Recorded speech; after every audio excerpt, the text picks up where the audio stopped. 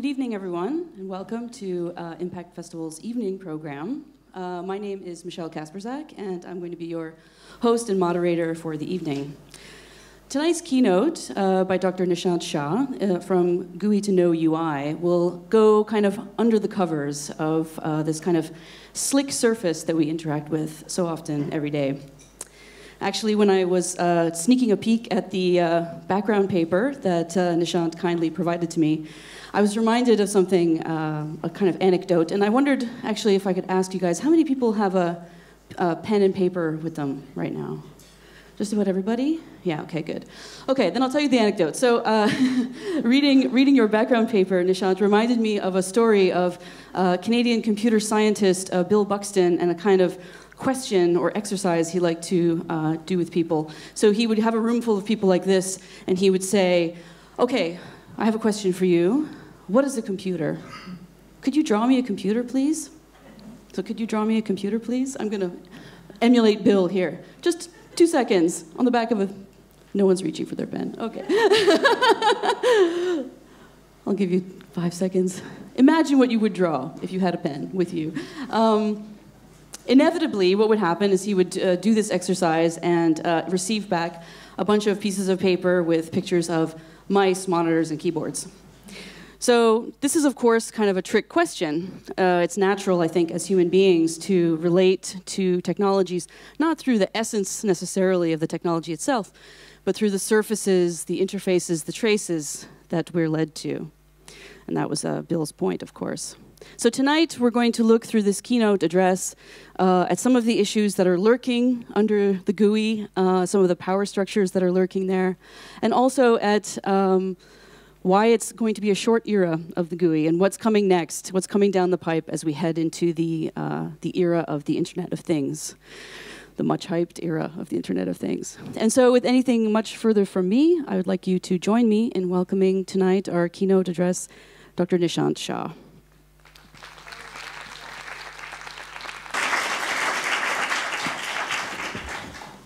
All right. Um, thank you, Michelle. Thank you, everyone, for a like. Why are you physically here? You know, this is being streamed live, right? Like you could be at home in your pajamas, but you decided to come here. I have no idea what's wrong with you.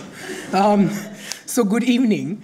Um, such a pleasure to be here. Uh, in this space with this incredible array of you know, ideas and art and design experiments and media discourses uh, I, I, sometimes, because I, am so used to sitting in a classroom and talking to people, I, I, have to kind of remind myself that this is a keynote address and not a lecture where I'm going to um, give you an academic talk with 30 footnotes and a reading list that all of you will desperately try to write down the names of and nobody will ever read. Um, so instead, i am going to resort to the one thing that I know very well, which is that I'm going to tell you stories. I'm going to tell you stories about disappearing women, uh, about horny dolphins, about neurotic robots in order to think about our Black Mirror lives, right? They're subjected to this continuous seduction of our screens and the politics and materiality of living with what we shall call right now the Internet of Things. Uh, and because things must start somewhere, even GUI, I'll begin with the bro war that capped all the bro wars in computation history and that's saying something because computation history has largely been an extremely hypermasculine space of bros brawling about who has the larger um, processor. Um, I'll begin with two of the most recognized men in their generation. So this is Steve Jobs and Bill Gates. Um, now we all know the iconic adversarial position that Mac and PC have had ever since the beginning of computational time. But for those of us who live digital uh, lives trawling through archives of computer cultures, the video I want to show you is not new, but hopefully at least will be nostalgic, right? Um, so let's look at the video first. And I'm a PC. You know, we use a lot of the same kinds of programs. Yeah, like Microsoft Office. But uh, we retain a lot of what makes us us. But you should see what this guy can do with a spreadsheet. It's insane. oh, shucks. Yeah, and he knows that I'm better at life stuff, like music, pictures, movies, stuff like that. Whoa, whoa, whoa. What, what exactly do you mean by better? By better, I mean making a website or photo book is easy for me, and for you, it's not. Oh, oh, that kind of better. Yeah. I, I was thinking of the other kind. What other kind? All right. So this feud between Apple and Windows, right, or Mac and PC, was not really about market shares, dominance, or even sales competition. Um, though the crass economy of it, of course, played its part. The origin story of the fight between these two superheroes, Gates and Jobs, started when in 1985 Microsoft released its first version of Windows, um, which, according to a lawsuit by Apple, had 183 elements stolen from the visual design graphic interface that Apple was developing for its Mac, right? So the first war between Mac and Windows was an interface war. It was about Windows stealing interface design and graphical user interface design elements from Apple. Um, uh, it was an interface war where Apple claimed that Microsoft had taken its WIMP, so that's Windows icons, menus, and pointers, interface design, and applied it to the mass market before Apple could reach it. Um, in, a, in a funny anecdote that kind of is very popular, an angry Steve Jobs had gone to Bill Gates and confronted him with this uh, act of theft. And Gates is famously known to say, and I'm quoting, Well, Steve, I think there's more than one way of looking at it. Looking at it. I think it's more like we both had this rich neighbor called Xerox, and I broke into his house to steal his TV, only to find that you had already stolen it. Right? The reason I want to begin with this brawl is perhaps to remind us that the graphical user interface or GUI, this screen behavior that we have now taken as the default aesthetic of our digital times, is a relatively new phenomenon, barely 35 years old. The GUI has a significant role to play in the democratization of the computer as a device that, as Alan Kay once prophesied, will be accessed and used by children of all ages, presenting the computer as a visible, ubiquitous, toy like companion that transitioned from being a sinister machine to a companion gadget. So it's quite extraordinary that in less than three decades, the GUI has not only become the backdrop of modern life and computational intersections, but it's also become like the iconic representation of all things digital. Um, Helen Grace, whose fantastic book on uh, mobile phones in Hong Kong, talks about how the GUI has produced everyday life to become mundane, right? To produce a great body of ordinary work that is going to be ignored, producing patterns, regularities, series, dynamic sequencing within which we might establish repetition, which needs to be seen as the rhythm of a bear that constitutes life, maintains it, and guarantees its reproduction. So I will not belabor the simple point that I want to make with you today, and I'm sure you will accept it for me that the GUI has become such a naturalized metaphor that we forget to see it. It has become something we see through. It is something we look at, but we don't see the GUI in and for itself. As John Seely Brown and Mark Weiser, way back in 1996, had already told us, if the computer is here to stay and if it is everywhere, it had better stay out of the way. And I think the GUI has done precisely that for computation, is to make it into a transparent thing right? This graphical interface, which is made out of uh, metal and plastic and circuitry and electronics, and yet somehow retains a sense of transparency while hiding the actual machine behind it. As Wendy Chun very elegantly points out, the more our machines become transparent, the more they also seem to become opaque. And while we are trying to understand, analyze, critique, update, and resist the GUI and its addictive and seductive properties, there is a technological development in computation that is already announcing that the GUI is dead, long live the interface. The trend is called ubiquitous computing. We have already reached um, a stage in our saturated lives where we are constantly surrounded by so many computing devices that we have shifted from keeping track of our computers to being tracked by our computers as computing devices start getting embedded in everything around us, there is a questioning of the GUI as the actual interface of computing. With the Internet of Things, as machines talk more and more with each other than they do with us, the GUI is obviously becoming redundant. The new Internet of Things designers and ubiquitous computing engineers are already presenting the new interface is not going to be screens but gestures right? So Paul Doherty reminds us that gestures are habitual, instinctive, and intuitive, and do not require the kind of learning that haptic and um, uh, tactile media like keyboards or touchscreens, for example, demand from us. The GUI, in computational terms, is already ancient. And not suitable for a connected environment where the information overload of ubiquitous computing uh, no longer needs a human subject to keep track of all the information flows. Because the GUI was invented necessarily when we had imagined um, that the human subject is the intended central reader for all of our computational information, which is clearly no longer the case. Because the Internet of Things, as Galen Gruman points out, is made of what he calls headless devices which no longer bear the imperative or the pretense of making themselves transparent to the human eye. They are satisfied in their closed, opaque, and mysterious conversations between themselves. It seems unthinkable in our visual cultures that the GUI will actually someday fade away. But it's important to remember that GUI is not only recent in history, uh, but that it might also be in a state of what uh, Kathleen Fitzpatrick calls planned obsolescence. So the loss of GUI for me is going to be a profound one. And I'm not taking a position of nostalgia here, right? So this is not about pining for the visual aesthetics of computation that I've spent obviously decades of my life uh, learning and practicing. I'm marking this loss as a profound one because the GUI in its centrality did not merely create a machine, but the human subject who has to be socially, politically, and culturally computed in the techno aesthetic complex of what we now understand as the computer. That in the promise of the GUI's imminent death, I want to remind us of perhaps three inherent negotiations in human computer relationships, which have often been resolved or at least deferred because the GUI allowed us to make it invisible or to ignore it. And because you have borne with me so far through this dense introduction and a history of the GUI, I now go back to my promise to talk about more exciting things, and I'm going to begin with the mysterious case of the disappearing women. Jennifer Light, possibly one of the finest historian of computation, reminds us that way back in the early 1940s, we coined the word computer. And the first computers were women in the absence of software as we understand it now and without human language programming, to work with a mainframe was also to work on the mainframe, right? In the older instances like ENIAC, for example, this meant a constant configuration of vacuum tube devices to perform complex mathematical equations.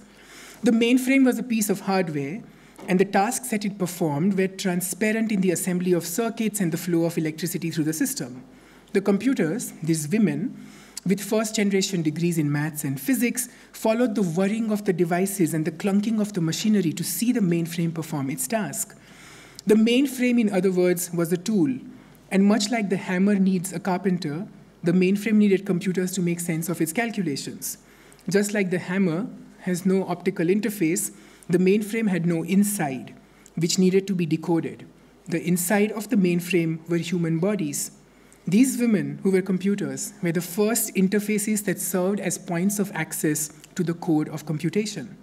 They were physical workers who sustained the different components of the system and relayed the information and data not only between the nodes of that digital network, but also to the mainframe architects, largely men, uh, who would then direct the architecture of the mainframe. And yet, the traditional histories of digitization and computation have forgotten these women and postulated that the computer is the domain of masculine triumph over technology and science. As Light shows in her uncovering of the archive, the women served as the interface. They were called the computer. They were seen through, looked at, but never quite for themselves. And hence, when the mainframe started shrinking, the computer became personal, and it was the women who first got replaced by automatic algorithms as well as the visual interfaces that perform both the affective, right, like the emotional labor of the sad Mac and the blue screen of death and cute little emojis floating all around the place, who were trying to replace the emotional and the affective labor of the women in the mainframe. Uh, and they got replaced by these al automatic algorithms and visual interfaces. So as the computer became a thing, we also quickly graduated to a new worldview that before the graphical user interface, women were computers. In the world with the graphical user interface, we now believe that women are not good at computing. That the history of the erasure of the woman's body as the interface in computation follows, in fact, the trajectory and development of the user interface of computation as well. That something was being made transparent as something was being erased as we put more and more money and energy into the GUI And at the same time, then also saying we now need to do more girls in STEM education and we need more women in tech industries in the Silicon Valley. The disappearance of the GUI is, to, is going to bring back the question of the bodies that will be expected to perform invisible labor, to become interfaces that we start ignoring them and making them transparent. And this trend is perhaps the best exemplified uh, when we start looking at both machine learning and artificial intelligence, which are generally presented to us as non human functions, right? Because what we often forget some, uh, is that um, both AI and machine learning need machines to continuously talk to each other without the need for a visual interface or a, or a graphical user dashboard. So when we talk about ML and AI, we largely forget or don't know that the heart of it is immense human labor. In countries like India, there are massive data verification farms that employ people who teach algorithms to detect, understand, and parse information for hours every day, they sit and perform the repetitive task of training to algorithms to identify the information in visuals, classify them in data sets which can be queried, and removing messy information in order for machines to make sense of our world. So, for example, the famous machine learning uh, algorithm faced with identifying the difference between a chihuahua and a machine and a muffin uh, needs intensive human intervention for it to finally make its probability driven production. We already know about the cleaners of Facebook and Instagram who monitor all the content flagged by abuse detection algorithms and remove it from our streams so that our privileged sensibilities are not offended. I'm presuming that all of you are on some form of moderated social media or the other, so Instagram, Twitter, Facebook, TikTok, Snapchat, whatever the hell anybody else is using these days. When was the last time you saw something which was so graphic and so offensive in nudity, in sexual violence, abuse, beheadings, insults, denigration, or any such thing? The chances are almost never. And you and I did not see it because there is somebody who's employed to precisely see only this information every minute of their living jobs, It's so that our privileged sensibilities are not offended by it. These invisible bodies are all interfaces. Like the women who disappeared, they remain invisible. And as we start losing the GUI, it becomes important to recover these pre and post GUI bodies which take the burden of being the interfaces that connect the technological with informational human realities. So that's like the first story I wanted to talk about in terms of the bodies that are disappearing, both pre and post GUI, and how do we deal with it. My second story is about a horny dolphin. And it features in this narrative around graphical user interface because of the madcap experiments of this cocaine, cocaine snorting scientist called John C. Lilly, uh, who is often also called the father of the first order of cybernetics. So in the 1950s, uh, Lilly, who was basically experimenting a lot with mind altering um, experiments, so largely taking just a whole bunch of classified substances, uh, convinced the good folks at NASA in the US that in order to understand potential communication patterns to talk to aliens, because one day we are going to meet them, we must try and experiment with interspecies communication on this planet. So he acquires a massive fund to build something called a dolphinarium in the US Virgin Islands, where it's a home that was half land and half water. Uh, and he put together a bottle-nosed dolphin named Peter with a female animal behavior scientist called Margaret Howe in a perverted simulation of human domesticity and conjugality. In her meticulous diaries, Margaret Howe recounts how Peter was forming affective and emotional bonds as they cohabited, and she taught him how to identify human language. However, this affection was, taken, was taking an amorous turn. Peter was refusing to mate with other female dolphins who were made available to him in a separate water tank and was entering into physical demonstrations of desire with Margaret. Um, Howe, who was a slight woman, was afraid that what Peter saw as playful encounters, biting, butting her, rubbing against her, might actually physically hurt her. However, when she pointed this out to Lilly and the other male scientists, they actually asked her, and I'm quoting from a diary, to take matters in her own hands, asking her to masturbate Peter as a way of establishing a cybernetic feedback loop where the dirty work had to be done outside and beyond the confines of the interfaces and frameworks of this experiment. The BBC recently made a documentary uh, on, on Howe, and I would really recommend you read it. Uh, if for nothing else, to just listen to Howe talking about the intense and unusual encounter with Peter. And there is a moment in the documentary when she breaks down into tears, not because she is feeling victimized about it, but she's very worried about how Peter must have felt when she suddenly just disappeared and there was nobody to tell him that this person that he had come to love has just gone away from his life. So, Howe's narrative of this cybernetic work that has to be done outside the framework of interfaces is critical in understanding the dirty, the forbidden, the unclean, and the messy nature of life as it happens within computation outside of interface realities. And the GUI has had a dramatic role to play in this production of the interface as a thing, right? As a site, um, as a location, or as a passive space where, where often actors just take action and things happen. The GUI is a way of eliminating the process out of computation and presenting it as a snapshot of a visual that mimics a feedback loop between the surface and the user, ignoring the layers and stacks of translation that are embedded in this system. In doing so, it wipes away all the hidden structures of power, discrimination, and control on the one hand, and the processes of extra human communication and labor, uh, which we need to do in order to uh, take care of the devices that connect us. As an example, um, we spend a lot of time responding to our machines and getting audio, visual, and haptic cybernetic loops from our devices as they beep, buzz, vibrate, blink, whatever else they are doing. Right? So we swipe, we scroll, we tap, we pinch, and produce a series of transactions uh, where it seems as if the only relationship that we have with our machines is an intimate one between you and your device. The surface visibility and the immediacy of feedback loop wipes away the processes of translation, control, and power that lurks beneath the surface of these interfaces. So, the most telling example for this has always been how Facebook has communicated uh, its concerns about the protection of its users. For over a decade now, Facebook has been campaigning to help its users uh, protect themselves from other users stealing or using their data.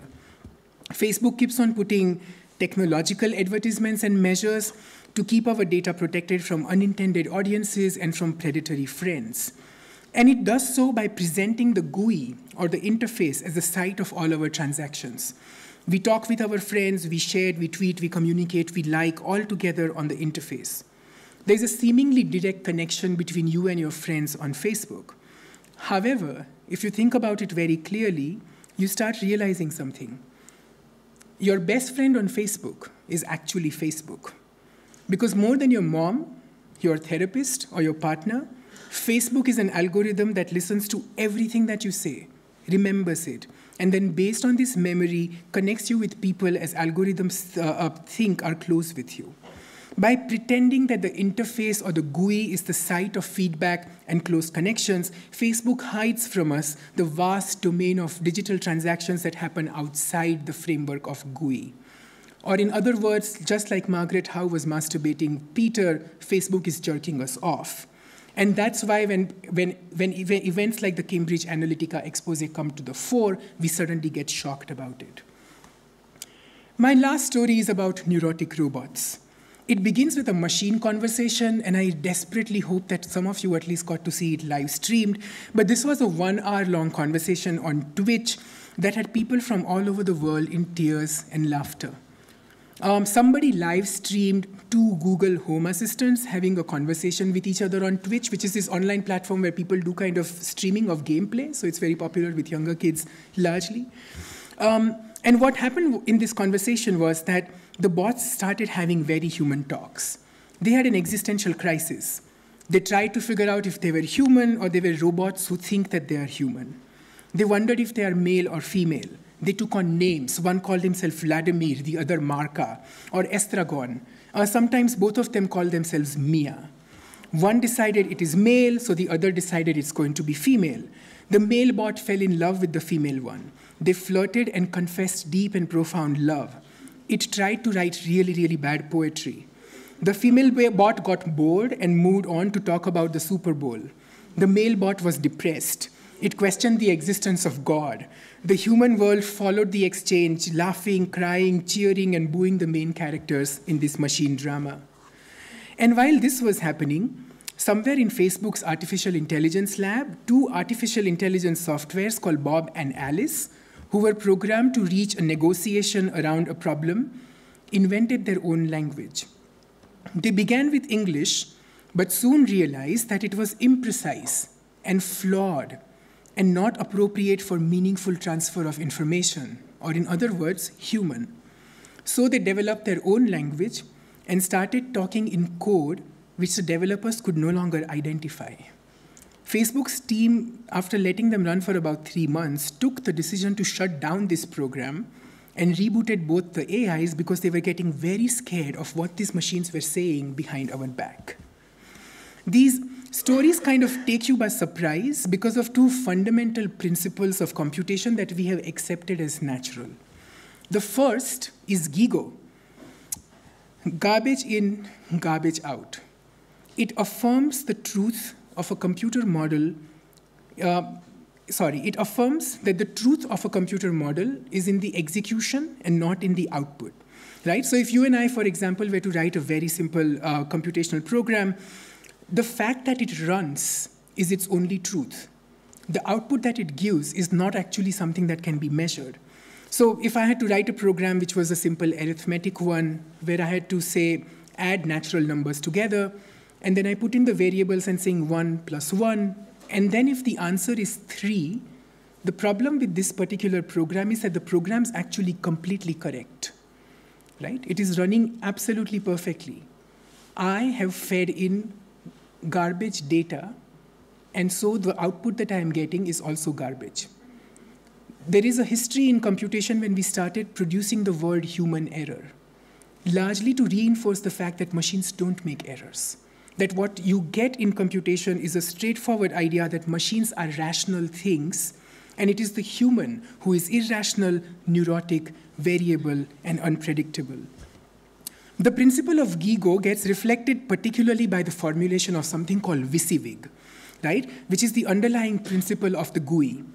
What you see is what you get. WYSIWYG essentially makes a simple visual and immediate connection between the user and the output. So if I press like A on my keyboard and it appears immediately on my word processing app, then I believe that there is a direct correlation between my pressing of the button and the appearance of the letter on the screen. So despite the fact that I actually use a predictive dictionary and an automatic uh, spelling and grammar corrector which modifies my typing outputs, I still keep on believing that it's a seamless connection between my action and output. And if the output is wrong, like covfefe, uh, that is the human error and that the machine has nothing to do with it.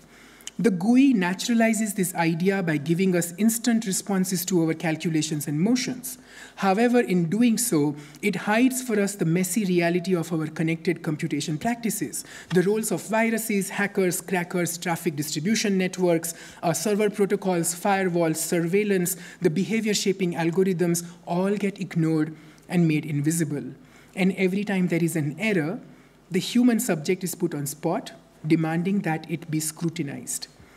The GUI was designed to reinforce the idea that machines are rational and programmed specificity, whereas human beings are irrational and unpredictable variables. The robotic artist and um, researcher Kelly Dobson disrupts this narrative of the GUI and its capacity to hide in her fantastic work, and I have one of her projects called Blendy, which I just want to show you very briefly. Um,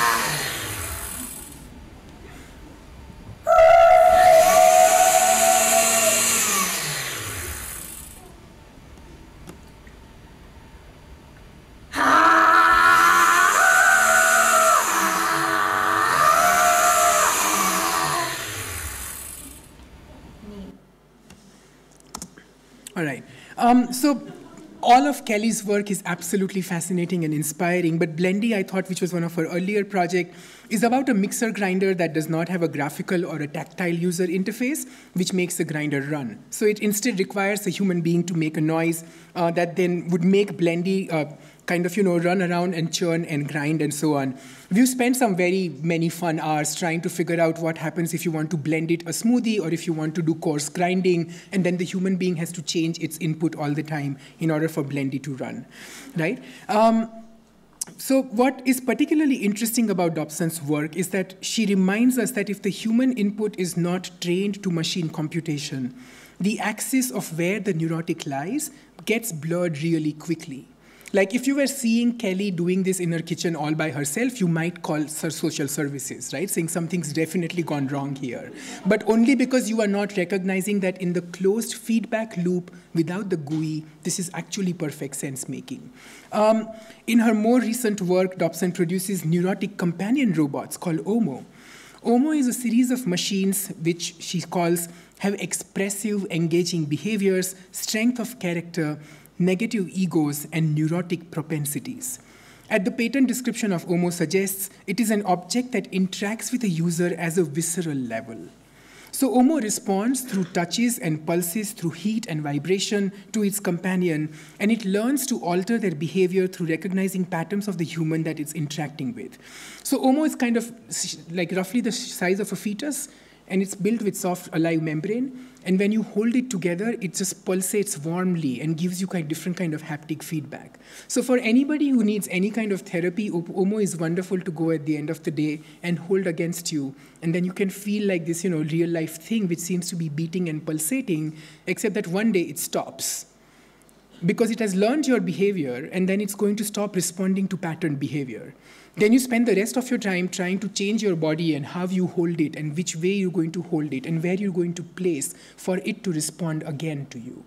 Right? Dobson categorically programs neurotic robots to show you that what we understand as repetitive action is not the natural and the default of computation. It's merely a choice that we make that there is a, much larger complex machination that takes place and the minute you kind of do away with the GUI and start interacting materially with your hands and bodies with the technologies around you, you are entering into a new domain of trying to figure out where the axis between the rational and the neurotic going is going to be. Okay, so as I stand here announcing the death of the GUI and talking to you about disappearing women and horny dolphins and neurotic robots, what do I argue for? Three things.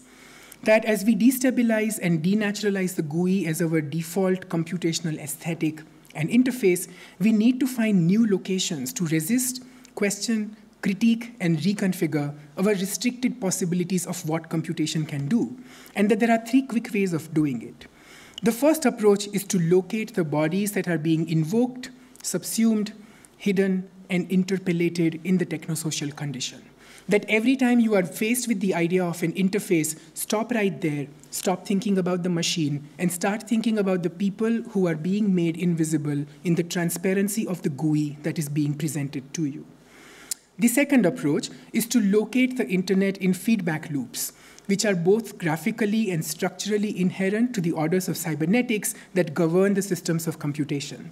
So, recognizing the feedback loop not as merely a natural default, but as a series of programming which is making you shape your behavior in a particular way is absolutely important in order to look beyond Gigo and WYSIWYG as the accepted naturality of computation.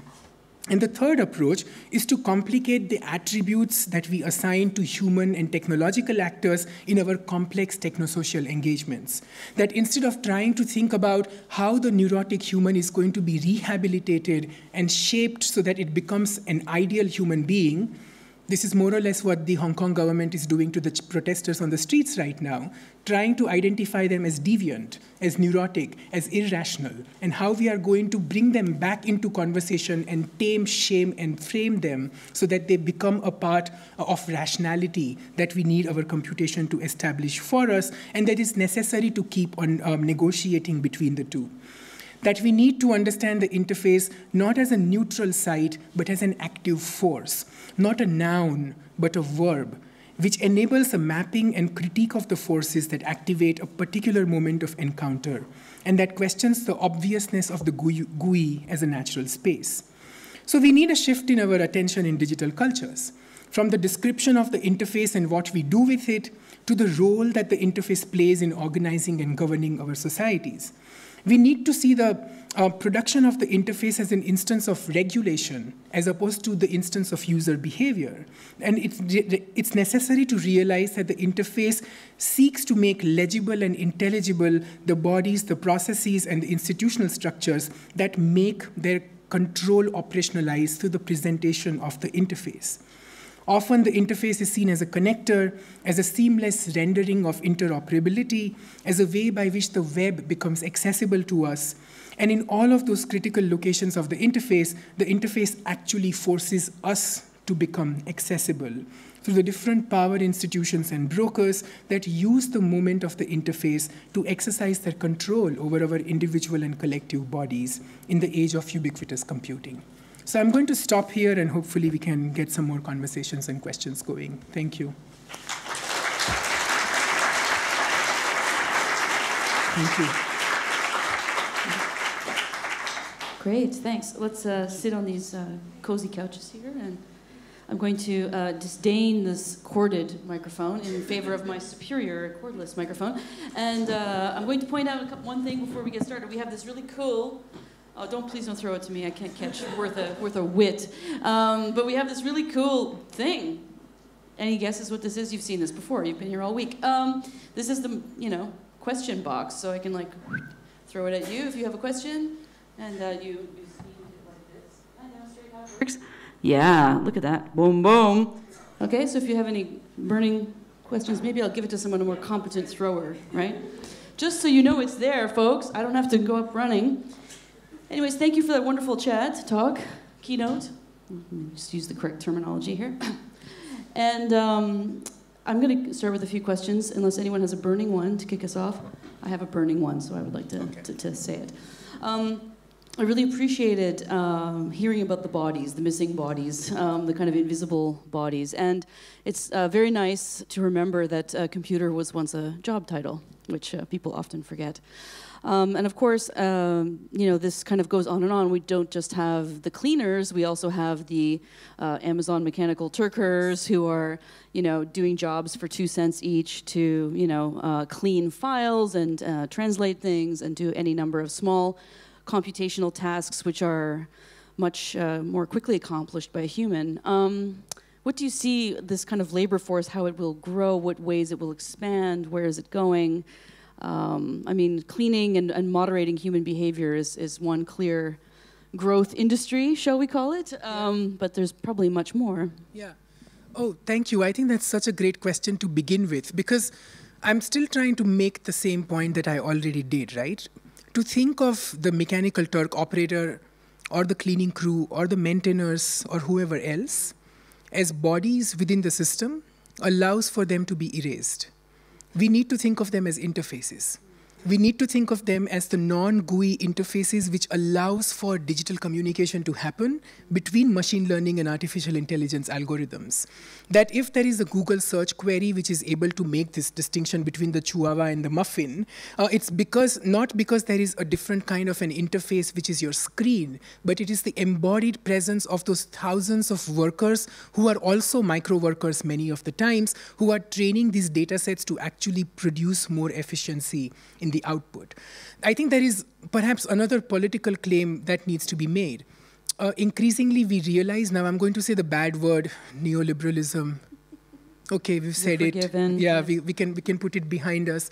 Um, but increasingly, what's happening in these spaces is that the technological circuitry and the database and the information set has more rights and protections than the human beings who are making it to in fact claim that these people are parts of computational machinery offers them sometimes much more informational rights protections and and and and and, uh, and entitlements. And so it's perhaps slightly perverse to think of the human as machinic.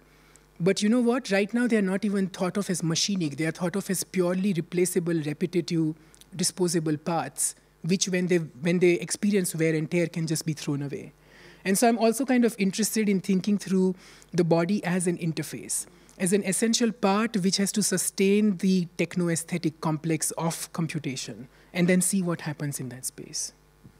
Yeah, I mean, um, obviously, the wear and tear is, Yeah. is something that's also very real. I mean, these cleaners, the Facebook cleaners, don't last very long. This is quite a quite a taxing job, and to earn any kind of money being a Turker is Impossible. right. Yeah, yeah, yeah, yeah. Um, I, I would like you to maybe touch a little bit more on because I was kind of hungry for a little more uh, in-depth uh, look at the IoT. So, you know, um, the the the. the uh, Vladimir Estragon uh, Godot-ish uh, exchange was really uh, really great. I think there's really a lot of, I mean, it goes without saying, potential for abuse, these things in our home, which are constantly listening, accessing our most private moments. Um, but what else? I mean, what else is going on there? How, um, how can we make them more visible? How can we, um, you know, really trust or not trust, or how do we negotiate this relationship? Um, so I only use Internet of Things like the true millennial that I am, ironically. Um, it doesn't mean anything. As a lot of computational scientists, especially, will remind us, the Internet was always only an Internet of Things. There is nothing within the Internet, not in its protocol, not in its code, not in its architecture, not in its formation, that is not a thing. In fact, it becomes really important to realize that we are marking out some things as the Internet of Things phenomenon because we are now essentially realizing that there is this new bioorganic force which is entering these circuits and we want to keep it separate and not give it again the same kind of protections that are afforded to the devices within the Internet of Things. Um, uh, Wendy Chun, who I had referenced very briefly and is possibly one of the finest theorists of new medias right now, she has a lovely book which came out a couple of years ago. It's called Updating to Remain the Same Habitual New Media. Uh, she talks about how the more regulation we have put in place in order to protect social media companies and their rights, the more those platforms have been used for bullying, abuse, and discrimination against the most, uh, let's say, underprivileged of the society. What do you do in the Internet of Things is keep on insisting that the Internet is only is, is devoid of any human affect or irrationality uh, or, or embodiment, right? And keep on pretending. So that's why I hate the cloud so much, right? This idea of the cloud, which seems to be like a metaphor, where it all just resides up there, uh, along, over, overlooking the Californian fires and the melting snow caps. Like there is this cloud uh, which we don't need to worry about anymore because it comes with such a promise of of, of, the, of the ephemeral and the immaterial. So I'm actually very skeptical of using the Internet of Things. I'm much more, I'm much more comfortable talking about physical computation networks because that's what Internet of Things is. It's physical computation networks where we are in fact rebuilding um, the mainframe at a much larger scale, right? So if once upon a time the mainframe would would actually be larger than this room that we are in, right? And so um, being in computation literally means residing within a computer. Like you are in a machine and you are kind of playing the parts around it. I think the interesting thing about the Internet of Things is that we are now building a planetary computer. We are literally trying to rebuild our entire planet as a computation stack and that there is something else that is at play here in terms of thinking about its politics, but also thinking about its affordability, its materiality, and the fact that we can we have the audacity as a species to think about commodifying this planet as a giant consumable, uh, which can be just put together in terms of a series of stacks and transactions. So maybe that's I, I don't, I'm not answering your question, No, but you that's know, great. it's just trying to think through this in a little That's way. great. I mean, um, the audacity of our species, exactly. I mean, by trying to recreate, uh, just as you're saying, the whole world as this commodifiable thing, um, it reminds me of um, of the alchemists, right? You Yeah. know, the audacity to of men to think that because they were so jealous they could not produce children. Um, sorry, um, that you know the um, then it became about well we could play God, we can you know we can create anything we want, you know this kind of thing. Um, so maybe that's an, actually an interesting kind of um, slide into that uh, side of your thought, into the feminist side of your thought, but also the, you know, thinking about um, the potentials. Like, for example, there have been many cases now of uh, the Internet of Things, these devices being used to torment people. You know, um, couple split up. Uh, the ex-husband still has the password. He's turning on the, you know, the heat full blast in the middle of the night, turning on the stereo at like weird times and things like that to kind of torment his ex-spouse. Um, it's something I kind of think of as what I call hacker advantage as well, because you don't have to be a hacker necessarily, but. Um, but how far have we come really? We keep talking about, like you say, girls in STEM, getting people to code. They still don't understand, though, how to crack these things open and get under the hood. How, how do we kickstart that revolution? Big task. Rebooting the human species sometimes looks like a good idea. Um, there are times, I, I, spend a lot of my time actually working with groups uh, that deal with sexual abuse and violence online, particularly towards queer and, uh, and, and people identifying as women. And there are times in the night when I end working on that and I do some policy and advisory work. And then I read a climate change report which tells us that the world's going to die in 30 years, and I feel so happy, saying, I think that's a good thing.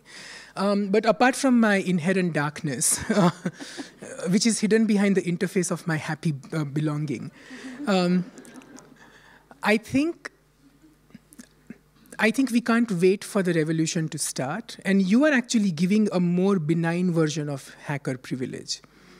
Um, give, me, give me the dark version. The dark one is what we recognize as revenge pornography. Right? The capacity to reduce somebody you have a grudge against into nothing but a sexual spectacle of shame. And then using societal norms of shame in order to torment her, to destroy her, uh, to abuse her uh, through this distance, right? So using extension of technology to barely just abuse you towards a particular person. And if you start looking at revenge pornography laws across the world, I mean, in the EU it's slightly better, but not much. Uh, there is a very, very scary thing that's emerging. Again, I think I, like I'm repeating myself, but let me give you the story of somebody called Kayla Laws. So Kayla Laws and Charlotte Laws will go down in history because they were the first um, people who could take down this company called isanyoneup.com. I don't remember that. Is which is a yeah, it's a good thing. I'm I'm I'm I'm also hesitant in asking the audience saying, does anybody know it? Because if you know it, it means that you were participating in a revenge pornography website, which leaked images and videos of women taken in compromising positions without their consent, and then they would use the same principles that we cherish so much of crowdsourcing, that they would have multi thousands upon thousands of men identifying those women using facial recognition algorithms to reverse detect who they are map it onto their Facebook and their Twitter portfolios, and then send letters and videos to their workplaces in order to shame and harass them. Hunter Moore and Gary Evans, these are the two names we should remember, had been running this website for nine years and they had never been able to be, they were not shut down because they claimed that this was their, in the US context, this was their um, First Amendment to free speech, right? Kayla Laws was a 19 year old a student in California whose mother, Charlotte Laws, happens to be a fantastic human rights and privacy lawyer. Kayla Laws is iCloud account got hacked. Remember a couple of years ago when all these celebrities also got their iCloud account hacked? Like Emma Watson became the big The fappening. The fappening, thank you. God. Sorry to be all so right. crude. Yeah, no, no, uh, it's just describing That's what reality. Reddit called it. Yeah, um, and so they, they, they fought a case against isanyoneup.com and they won. But do you know why they won? They did not win because this website was extorting a 19 year old and saying, if you give us $500, we will remove your content. Not because there was abuse, not because there was misogyny. They won the case because they could make a forensic evidence argument that the people of the website had hacked Kayla's account and stolen her data. Right? The sanctity of data was more important than the sanctity of the body being abused. This is the future of Internet of Things if we allow it to be only disembodied and without the people. And plus, we also don't own our own data half the time, right? Yeah. So this is like, you know, it's about Facebook's right to our data, or it's about, yeah. you know, some other large, yeah. whatever, Or the cloud, right? It's all cloud. always up in the cloud. Yeah, yeah, yeah. yeah. Yeah, and often uh, these things fall to kind of like, well, why don't put things in the cloud in the first place? But often we have no choice. It, it inevitably becomes a kind of thing of you don't have much choice. I mean, if you're collaborating with colleagues and we're all using Google Docs or whatever, and it's kind of like, oh, come on, you know, like just, you know. It's just Google. Yeah, it's just Google. It's just Google. It's okay. it's just them, yeah. yeah. Um, I have one other thing I'd like to say. I mean, and uh, I'm going to try to steer it back into a brighter place. Um, and if anyone else has any brighter, happier, um, cheerier points, they were free to make them. Um, but uh, what are what do you think? I mean, because you spoke a lot in your uh, concluding remarks about um, the need for critique and the need for situating critique. Um, but what are the I mean, I'm thinking in this this age of kind of like uh, fractured attention. What are the um, most effective, in your opinion, vectors for this critique? I mean, Twitter. I, I, can shout on Twitter all day, but you know, I only have like. I don't know how many followers. It doesn't matter, you know. Like, and it's, it's not going to make a difference, right? So, if you if you tell them your username now, they will all join you. That's what these things are for to get right. followers on Instagram and Twitter. Okay, okay. at m Kasprzak, if you can spell it. no, I mean, well, we could just write some kind of manifesto right now on Twitter together if you wanted. um, I, I wish I had an answer. I don't, but mm. I do have a lot of faith despite all. Yeah, I'm, I'm being critical and I'm exaggerating my affect of despair. Um, but one of the groups that I've been working with over the last three years, and this is like a shameless plug, is called the Feminist Internet Research Network, or FIRN. And one of the things that FIRN does is brings together technologists, feminists, artists, and designers to start saying that we can redesign the internet. The internet is a political expression. It comes from certain ideologies of optimization, of efficiency, of transfer, of distribution, and so on and so forth. If you can code, you know that there is always a choice to code differently. And the one thing that the FIRN has done, that it has come up with feminist principles of the internet, where you talk about the questions of care and body and protection as a default and not something that you do after the crime has happened. You don't first say, I'm going to use the internet, I know it's evil, I know it's going. To, I'm going to. I'm going to wait till things happen on it, and then I'm going to ask for regulation and saying now protect my data.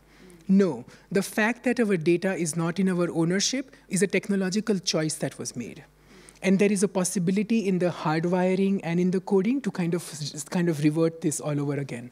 So I think I think we are finally getting to the point where we are no longer talking about things like open source or open access, which were actually just licensing problems and had nothing to do with uh, the actual materiality of the internet, right? Because open source languages were as complicit in reinforcing the internet ideology of a, of a Silicon Valley hypermasculine bro culture uh, as anything else was. So I think what's becoming interesting with the democratization of the computer, not of the interface, but of the computer, is that more and more people are redesigning these these sequences and trying to find them, locate them, and empowering them is where perhaps the future is going to be. Yeah, I mean, there's a question of, I guess, like, how far down do we need to burn it all down? Because, like, there's actually the question of, you know, like, the code layer is one thing, the hardware layer is another thing, the designed devices that we all use. Yeah. Um, yeah.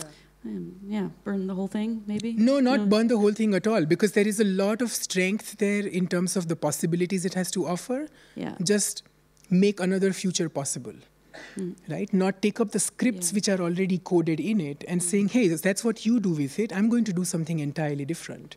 And then figure out how to get there. I think that's that's where the challenge is going to be. Right. There's like I guess a place for the subversion of what exists. Um, really not subversion, but just an alternative. Like I mm-hmm. don't even want to fight this particular thing. Right. It's broken, right. and I don't want okay. to fix it either. I just want to start something else, and that can be the new internet. Yeah, and good, that's possible. Fair. Yeah, yeah, yeah, yeah, I think that's true. Yeah, yeah. yeah. Does anyone want to have the um, the cube thrown at them? Would anyone like that? That's very scary. it's kind of soft and round. Roundish, just, rounded corners. Whoop! You can just hold it and.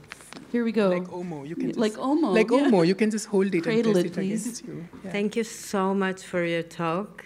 It was really enlightening Thank and you. inspiring. I, I have a kind of naive question, but uh, maybe you can uh, help me. What would happen if, for example, overnight by miracle, data could not be sold and bought anymore? Like it became completely impossible to have any economic transactions on it. Wow, that's not a naive question. That's a fundamentally utopian question, and thank you for it. Um, what might be really interesting is to realize that the data is not the same as information. right? Data is an abstraction. There is a much larger, messy informationality, which as human beings we are quite aware of. And there is a very limited amount of that information which can be commodified because machines learn that and they produce it as data, which can be stored in a database, it can be sorted, and so on. So I'm making a very technical, uh, ontological distinction between information and data. What would be really interesting is to start recognizing that if we build an alternative economy which is not about data but about information, there is a different set of negotiations which can be put into place. Again, it sounds like a utopian answer, but because it's a utopian question. But when I look at the work of people like Kelly Dobson, that's precisely what they are doing. Right? The, the data that we have in terms of making our electronics run through smart switches and so on and so forth is a very specific kind of data set. If, it, if, if, if, you, if you are not intelligible to that machine, you are, the machine will not operate. Um, in India, which is my home country, um, we're having a lot of trouble right now with biometric databases, for example, for the simple reason that people who design biometric devices never thought of populations which work so hard with their hands that they don't have fingerprints which can be read. Right? And none of us have experienced it because none of us have done manual labor over a sustained period of time. But if you do it, you now suddenly face with a population which who, who is informationally present but cannot become data verified by a machine. Now, the, there are two options here. One is to make the machine so that it can read more information, but the other is to say, well, this is my informationality, and you will still have to deal with me even if I do not open myself up for the commodification or transaction. So I don't ever think of a world where we are not going to transact in data because we have always transacted in data even before the digital technologies come into being, right? Through censuses, through censuses, through state making, through different policies. These are all data sets of certain kind which measure the human and its interactions and how it works within the social setting that it's installed in. But what would be important is to in fact champion and protect the messiness and the diversity of information which cannot be read as data. And then the rights to be forgotten, the rights to be irrational, the rights to just be, are in fact existing in these spaces. And I think, especially for artists and designers, this is why I enjoy working with ArtEZ, which is an art university, so much, because this is where our job is. Uh, not merely to visualize a data transaction, but find out that which cannot be transacted and still occupy it with this fierce humanism and saying, This is where I stand, and speak with me, even if I don't speak your language. So that might be some way of doing it. Fantastic. Yeah. Thank you. Fantastic. Any other takers of the hot potato? Wasn't there a song? Hot potato, hot potato. No, no, there wasn't a song. I'm just trying Okay. to make it up. I'm just feeling very scared that somebody's going to throw it at me and then I will have to ask myself a question. And then it will go into like a bizarre cybernetic feedback loop of me answering myself. Oh, no, no. As long as no dolphins are involved, I think we're all right. Yeah, yeah, yeah, yeah. Leave the dolphins in the. Oh, I see a hand. Woo! Catch. Um, thanks, Nishant. Um, I was wondering if you could talk about what you think is the core of the resistance of most people to who are users of um, the internet to see uh, those bodies, to to recognize them, because it's my experience that most, or you know, a lot of people they're not particularly interested to know this about the cleaners who are behind. Yeah? So, what's driving that resistance?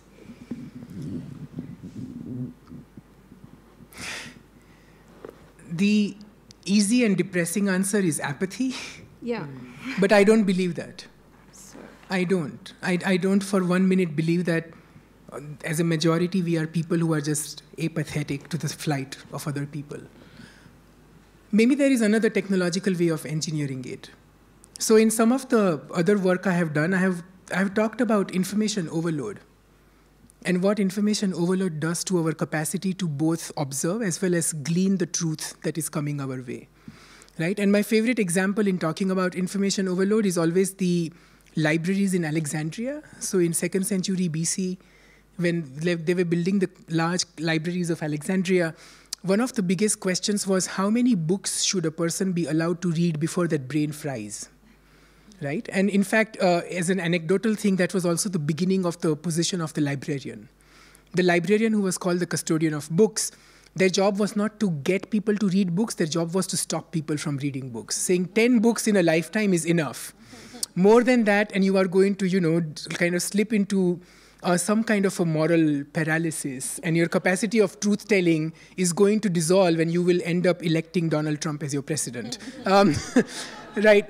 Um, so I, I kind of like this idea that throughout the history of information sets, there has been um, an anxiety about information overload. And we have worked very hard at making sure that when we do slip into information overload, there will be ways of recovering from it. Right? So there was continuous mechanisms put into place. With the digital, one of the ways by which politics has become secondary is that we have accepted information overload as our default state of being we have accepted that we are ontologically informationally overloaded now. And one of the key characteristics of information overload is that you are largely consuming information that you have produced about yourself.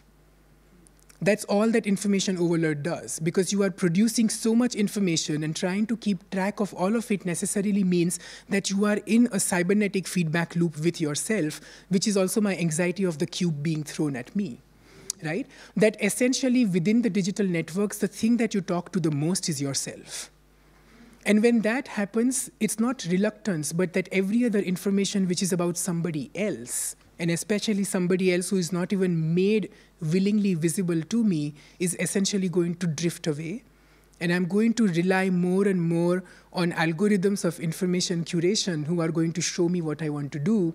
And that, that builds what Wendy Chun again calls the network neighborhood that you reside only within that network neighborhood of information as you are circulated and information is circulated around you in, in, in two different ways. And that, that's, a, that's a very strange vector of what Arjun Appadurai would call postmodernity, where the information that is circulating and the person who's receiving the information are both in simultaneous circulation, right? Which is, which is, a, which is a really strange way of kind of thinking about the being. So that would be the way in which at least I'm trying to think through it. I refuse to believe that we have reached a point in civilization where we've stopped caring. But we have reached a point where the care of our information is taking so much of our energy and time that there is not enough resources left to think about the other who is not a part of the same information data set. Yeah. Anything outside your network neighborhood is kind of becomes irrelevant. Yeah. And you never see it. So you, you never see it, but you also, it's exhausting. Mm-mm-mm. Yeah. yeah. Right? I, I don't know how many social media networks you are on, but I justify it. I mean, largely, I, it must be because I'm an attention queen, uh, but I justify it as part of doing research that I have 27 active social media accounts which I'm monitoring on a daily basis. Like, it's exhausting. I sometimes just keep on reading my own post, which other people are retweeting, just to see that if it's changed or not. Of course, it's not changed, but I keep on reading it. So there's, and the there's replies something. and, there. the, yeah. and on yeah. and on and on and on and on. Yeah. There was a hand at the back, so if someone could throw the block cube. We have to give it a name. Omo. We'll just call it Omo. Oh, let's call let's it Omo. call it Omo. Yeah. Omo. Yeah. Thank you very much for your talk. Um, I'm wondering a bit about this whole. So I've been thinking a lot about identity in the context of internet, in particular in terms of agency and a feeling of sovereignty.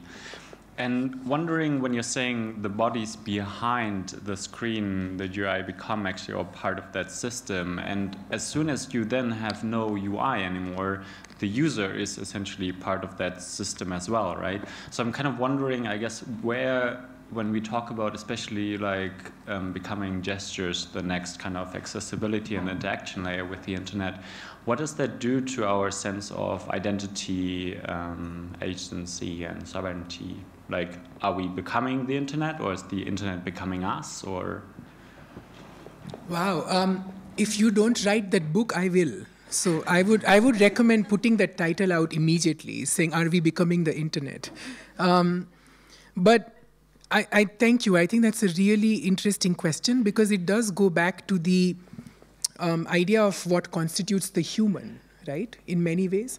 So when I do these kinds of talks, I often get somebody, generally after the talk, who comes to me and says, "You sound like such an old-fashioned humanist." Right? You, you seem to be like almost stuck in the 1960s, talking as if there is this human that we need to protect. And I continuously argue with them, saying, I'm not really. In fact, I'm drawing our attention to the fact that the human any which way we understand it, is a model. It's a model which can be supported by the Universal Declaration of Human Rights, for example, or by biological standards of we have 10 fingers and 10, 10 toes. Or, you know, if you are on the right wing extremist side, then def- defining whether you have a penis or not as a way of defining your bodies. But the fact is that the human being has essentially been a production of measurement. So, what we think of as identity politics is, in fact, extreme measurements of different kinds of race, of gender, of sexuality, of ethnicity, of history, of heritage, of lineage, and so on and so forth. What the digital has come and done is that it has opened up the fixity of our past and made it into something that can be predicted. So, the best example of this is this bizarre 23andMe testing kits. I don't know how many of people have given up given into that temptation? Did you send your DNA to be tested? You should do it because I it, it, it, it it's fantastic. oh. Oh, because That's it's not what I was expecting no, no, no. You should you should do it as a as a thought experiment because it's incredible. So I gave in and saying, who cares, right? Like how much more of my data can they take? Here, take it. Um, um, so I send in my, I send in my like my swab, and then then this result comes up, and then suddenly it says that I am one 128th Portuguese, which is interesting, except that all I did was the two days was try and figure out which of my great grandparents was an adulteress, right? Because somebody in my family cheated with somebody who is in Portugal. Um, because as far as I can tell, they all are super Indian. But this DNA test suddenly has given me a profound truth about myself, which I would never have like done done this to me. Like if anybody had ever asked me saying, "Are you European?" I would be like, "No." Um, um, but suddenly now, when they ask me, "Are you European?" I'm very tempted to write in my next inburgerings uh, form in the Netherlands, saying, "I'm apparently I'm somewhere I'm Portuguese, so now just give me an EU passport, right?" Um, and they will not take it at face value. But this is reconstituting the human through different kinds of variables. It's measuring it in a completely different way. And while this looks like a fairly benign exercise, uh, in India right now, there is a national registry which is being made in Assam, in the northeast of India, where using these kinds of measurements, which are also about language and ethnicity, the Indian government is trying to criminalize tens of thousands of people who are Muslim and who might have migrated from Bangladesh into India and saying that you might live here, this is who you claim you are, but we are now going to measure you in a different way and in that process invalidate you as citizens of this country and just throw you back to where you belong. Right? It, it gets dark really fast. But this is what it is it's the measuring not of the identity, but looking at what are the new measures of the human that we are engaging in and what are the models that we are going to accept as the new human. So, not the cyborg, right? Not the technology and the human cohabiting, not even the post human, though I, I, I am deeply indebted both to Donna Haraway and Rosi Braidotti for the fantastic work that they do, but I'm arguing not the cyborg, not the post human, merely the human. Yeah. Recalibrating what it means to be human, that's where the new identity politics and the new claims of truth are also going to belong. Absolutely. I mean, I think, yeah, no argument here. Uh, let's pass the pass the block along. I think we have time for maybe one more. If anyone has any final remarks, questions, comment, not a question. Any of those? Yeah. It's, it's neither of those, but um, you said some amazingly uh, insightful things tonight. But I'd like you to repeat the name of the feminist internet organisation that you were talking about, and I'd like you to repeat the names of the women who overthrew the uh, misogynist website, Sure. so I can Um, remember who they are. Absolutely. It's called the Feminist Internet Research Network, or FIRN. It's organized by a, a consortium of gender technology uh, activists and rights advocates called APC, the Association of Progressive Communication. They are based in South Africa, Sri Lanka, and England. And they run a global network which has been working on questions of gender technology for a long time. And the case study that I was referring to, it's a mother-daughter duo in California. Their names are um, Kayla, K-A-Y-L-A, and Charlotte Laws. Um, and as a shameless Google search engine optimization plug, if you search for my name and revenge pornography, you will find the essays I have written around them um, very easily. And most of my work is open access, so you might be able to get more details about the case as well. Thank you. Great. Well, I think we should we should wrap it up here, and so that we have more time for all those people that want to corner you later Oh, with the with the personal questions. But can we have one round round of applause, please? One more for Nishant Shah. Thank you. Thank you. Thank you very much.